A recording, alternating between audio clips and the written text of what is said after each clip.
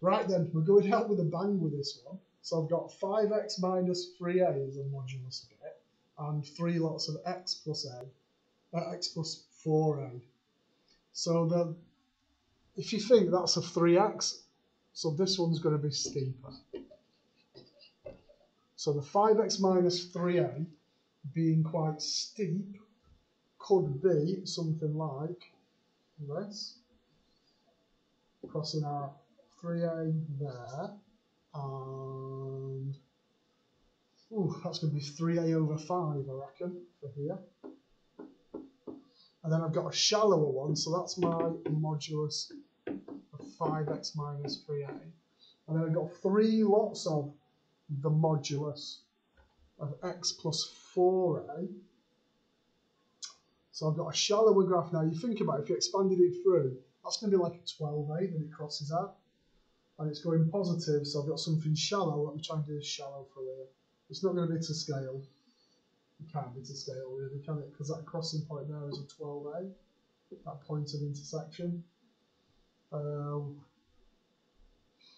right. so that's a little bit, so it's not to scale, but you get the idea. Right then. Okay. So let's find the points of intersection. Let's do the signs the same. Now, the sign's the same and the sign's different is on the modulus part. So what I've got is like a plus 5x minus 3a is equal to 3 lots of a plus x plus 4a. So we've got to be careful with that. It's just the modulus bits.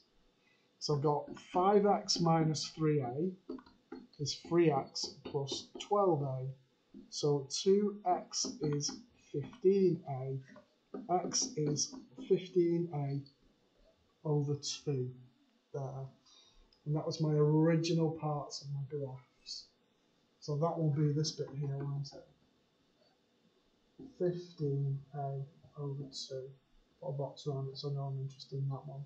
Signs, signs different, I've got to be careful of.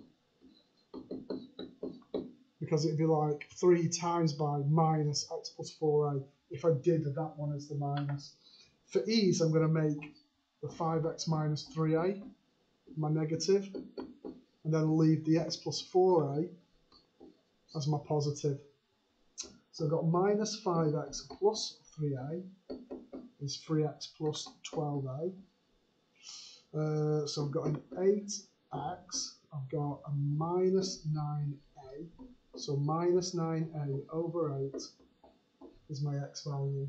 So that kind of makes, so like minus 9 over 8 is quite small, isn't it? So it's over here, this one, on the negative. So that's minus 9a over 8.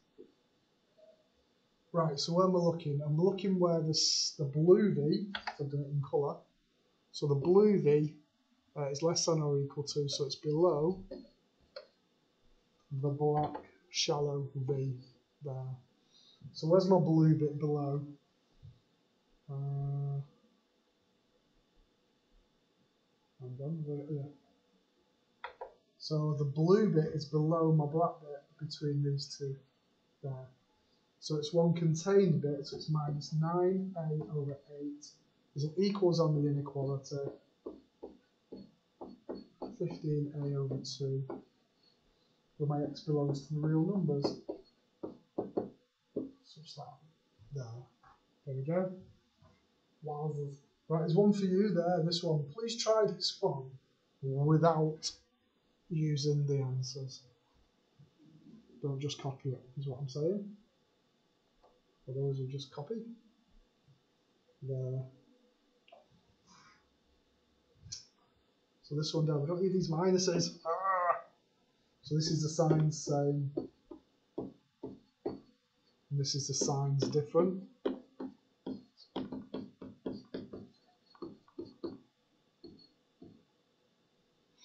You see how she's kind of took the five through and the four through. I don't, I leave it out at the front and then take it through later. I'm just a little bit more cautious, is that all. So I've got some random values. So I've got 37a over 4, which would be that value. And I've got 13a over 6, which is that value. And they want where